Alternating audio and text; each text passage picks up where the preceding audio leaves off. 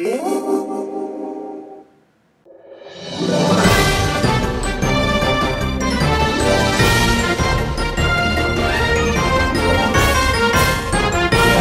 there guys, what's up? Welcome to another episode of RobaFett. So today I'm just gonna jump uh, straight into the topics. First, I want to talk about Dragon Ball Super. I am really, really, really excited. They've just announced that they're gonna make a new. Well, they didn't just announce. I'm kind of behind the eight ball with these. So sorry about that, but I did want to express how I feel about each of these topics. They have announced that they're making a new Dragon Ball, and it's going to be pretty good. Actually, we don't know that. But Akira Toriyama, sorry if I'm saying that wrong, uh, as you know, he had everything to do with Dragon Ball Z all the way up through the Buu Saga, not really GT. Um, he's back. He's done Battle of the Gods. He's done The Return of F. And now he's doing this new show, and I'm guessing this new show is going to take place after those two movies. And the past movies really have not had anything to do with the show, but apparently, these days, the movies are important. Apparently, he's to be helping out with the show, and I'm guessing this this totally negates Dragon Ball GT, which, um, I know there's just a lot of Dragon Ball GT fans out there. I respect it. It had a lot of cool things about it. That being said, it's not my favorite. So really, it doesn't break my heart too much, but for you Dragon Ball GT fans, I feel for you. All we are is in the My boy! They kind of did the same thing to us with Star Wars, with all of us who loved that expanded universe stuff. They kind of just got rid of most of it and kept that Boba Fett's alive, supposedly. I told you what's good, I told you what I'm excited about for it. Here's what I'm worried about. I haven't seen Return of F. I'm waiting for it to be translated so I can get the full experience when I watch it. I pretty much know a lot of the spoilers that do happen in it, unfortunately. The internet, what you gonna do? As everyone well knows, it's been over 9,000 for a while. The problem with Dragon Ball Z, Dragon Ball, whatever, is that it keeps compounding and pounding. I'm stronger than you, no, I'm stronger than you, no, I'm stronger than you. And there gets to a point where you just can't, you just can't, you just can't climax. You just can't reach that height. You've hit the ceiling. Like the ceiling can't hold us. I don't know, what are they gonna keep doing? I know at the beginning of Battle of Gods, he said, oh, there's all these people that are more, even more powerful than us and all stuff, and, you know, it was leading into that, who knows. Well, I mean, what are they gonna do? They already have red hair, now they're gonna have blue hair, we all saw the pictures. Now what, are they gonna do like, oh, then your green hair, then your pink hair, then you turn invisible, and you're invisible Saiyan. I'm an invisible Saiyan, you can't see me. So, that's something I'm worried about, but as long as he's involved, I'm sure everything will pan out fine.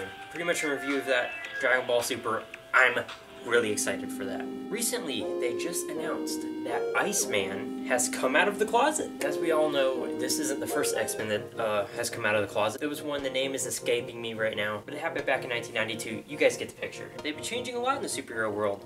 Uh, Falcon took over for Captain America. Thor is now a goddess. And I know there's there's been a lot circulating around the fact maybe Iron Man has come out of the closet as well. There's nothing officially confirming that yet. I'm not going to go into this a lot, but I will say this. So far, I kind of just feel like they're doing it to be politically correct. I have nothing against them changing things to progress story. I have nothing against them changing things or picking something to make things better. That being said, Iceman coming out of the closet, I don't I, I don't really know who this is for. Do they think now that the homosexual community is like, Iceman's gay now, I'm gonna go buy the comics? I mean, maybe they will. Who knows? And maybe this will be a great thing. However, me personally, I, I just don't see how it's advancing the story. I feel the same thing about the other two. I, I, I, I, I just don't know how changing characters that have been one way for a long time all at once, it just seems sort of like maybe we're trying to be politically correct here. I could be wrong though. This could be also Disney kind of signifying us, hey, we control Marvel now. We decide what happens. So we're just gonna do what we think is best for Marvel. You know what, Disney? You own Marvel. I don't. So you guys can pretty much do whatever you want. Really, at the end of the day, it's not gonna affect me, okay? The fictional characters. I haven't picked up or read an X-Men comic in a while. So really, what's happening in the comic books right now doesn't affect me. The heroes like they were when I was growing up, to me, that is what will always be and what always will be. And you know what? These heroes should be to what everybody, whatever they want them to be. Personally. Sure, some mainstream can tell you what's happening. Sure, Disney can tell us, hey, the expanded universe never happened. That doesn't make it so to me. If I want in my universe for the expanded universe to have existed, who's Disney to tell me otherwise? So the fact that they're changing all this stuff, it really doesn't bother me. And you know what? If it helps them in sales or if it helps a certain different demographic feel closer to superheroes, then that's that, you know? It is what it is. And that's all I have to say about that. Alright, once again, I'm behind the eight ball here, but I did just want to share that I went and saw Mad Max Fury Road, and I've seen a lot of people just really, really, really hyping this movie, and I thought it was really, really good. That being said, people have told me that this movie is the best they've seen all year, better than Avengers. I don't think so. First off, I always liked Mel Gibson in the role. I know he's not the most popular right now, but I don't see why they couldn't have cast him maybe as an older Max. I mean, because these movies are clearly taking place after the three Mad Max movies that have already been released. Tom Hardy does bring a lot of cool things to the role. I love Tom Hardy. He was awesome. He was awesome as Bane. He was awesome in Inception. He's pretty much great in anything he does. And he brought his own sort of things to Mad Max. I just prefer the Mel Gibson because that's what I grew up with, that's what I know. Also, I mean, that being said, I'm not going to get into spoilers, but there's this awesome character in it called Furiosa. She is just incredible. The whole movie, you're rooting for her, but I don't feel like you should be. And I don't feel like you shouldn't support her as a character. What I'm saying is, I feel like they should have called this Furiosa Road. Because the whole movie, you're watching Furiosa kick butt. I want to see some more Furiosa.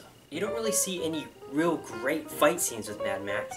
The one, I'm not going to spoil anything, but the one scene where you want to see him fight and be awesome, they don't even show it. The one scene, and you're not going to show it? The one scene where he's going to wreck everybody, and you're not going to show that? I don't understand. I don't understand it. That being said, I did enjoy the movie. Oh, and is it just me, or did the bad guy kind of remind you of Bane? And isn't it funny that Tom Hardy had to wear a metal thing over his face, kind of like Bane's mask, throughout the first half of the movie? I mean, just saying. The lack of dialogue in this movie is you're either gonna like it or you're not gonna like it. I actually did kind of like it. And one thing's for sure, if you want to see a movie that's action-packed, this is it. There's that freaking guy playing a guitar with flames shooting out of it, driving on top of a truck what other movie are you gonna get that? But it's not 10 out of 10, it's not my favorite of the year, and to be honest with you, it's not my favorite Mad Max movie. But definitely, go see it in the theaters, go support this movie. George Miller came back, and he did an awesome job. So, go support his movie. Give him your manis. Well guys, I hope this video didn't go on too long. I want to thank you all for watching. Please rate, comment, subscribe. Hey, you don't have to, but when you do, it really helps me out. Tell me, what do you think about Dragon Ball Super? You think it's gonna be awesome? You have some concerns about it? What do you think about it? Do you have some insight that maybe I don't? Iceman coming out of the closet, them changing Marvel characters, them changing Star Wars. What do you think about that stuff? Let me know in the comments below. Mad Max Fury Road. Was it your favorite movie of the year? Did you dislike it? Did you like it? Did you feel like it should have been called Furiosa Road? You know what you gotta do? You gotta let me know in the comments below. Anyway, guys, till next time, keep your Punisher hats on, and I'll see you later.